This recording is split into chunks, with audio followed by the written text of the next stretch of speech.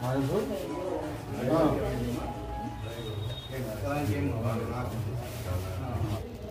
పేరు నా పేరు పుష్పల ఆంజనేయ రెడ్డి టెంపో డ్రైవర్ని.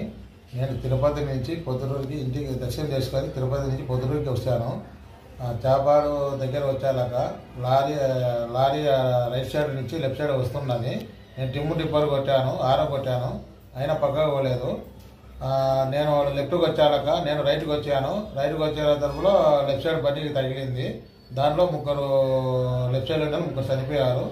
తొమ్మిది మంది గాయాలయ్యారు నేను తగటగా బండ్లో నుంచి దిగి వాళ్ళ మంచులు దించే లోపల డ్రైవరు అండ్ క్లీనర్ ఇద్దరు లారీలో నుంచి జాకీ తీసి లెఫ్ట్ సైడ్ టైర్ కింద జాకీ పెట్టి పరి పరారయ్యారు. మిగతాలో నేను వంజిరేటుకు అంబులెన్స్కు పోలీసులకు ఫోన్ చేశాను. వంజిరేట్ వచ్చింది. తర్వాత మిగతాలో పేషెంట్లను ఆసుపత్రికి తోలుకొచ్చాను. அதான் பார்த்துட்ருங்க பயமாக இருக்காங்க